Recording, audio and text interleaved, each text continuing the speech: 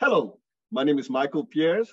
I'm a software quality engineer and a member of the IEEE USA, which is the Institute of Electrical and Electronics Engineers. Today, I have an engineering challenge for you. Design a boat made only of aluminum foil that holds as many pennies as possible mm -hmm, before it sinks or capsizes. You can find the written instructions for this activity at discovere.org Okay, there are three constraints to keep in mind with this challenge.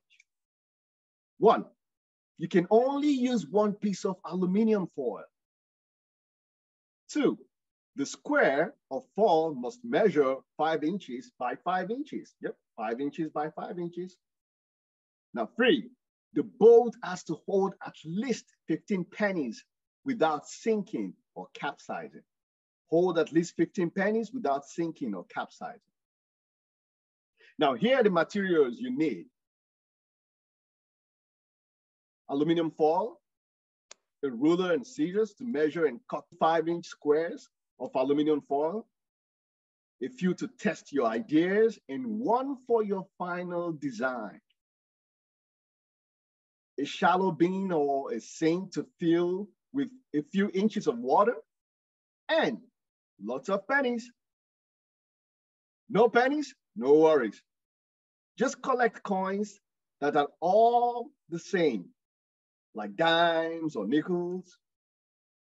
Also keep a towel handy in case you have any spills. Mm -hmm. Now, as you start brainstorming designs for your boat, think about the shape of your hull.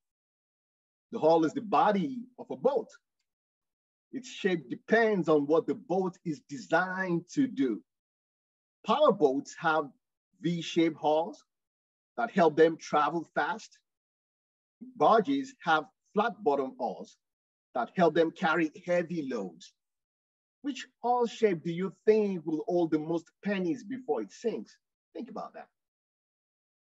Try out a few designs with some practice squares of aluminum foil to see which one you want to test. Remember the word test. When you're ready to build, use a fresh piece of aluminum foil to make the boat into the shape you've chosen.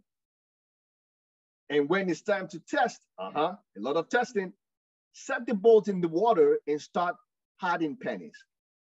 Watch carefully. Is the boat starting to lean as you're harding the pennies? Help the boat stay upright by harding pennies in a different part of the boat. As you hard pennies, Notice whether the boat changes shape, tilts strongly to one side, or springs a leak.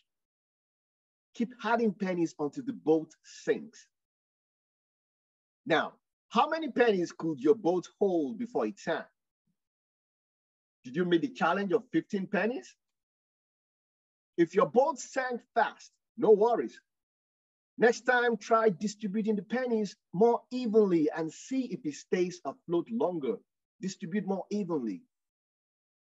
Did your boat tip over before it sank?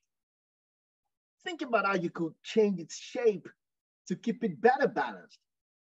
Then make changes to your design and try again.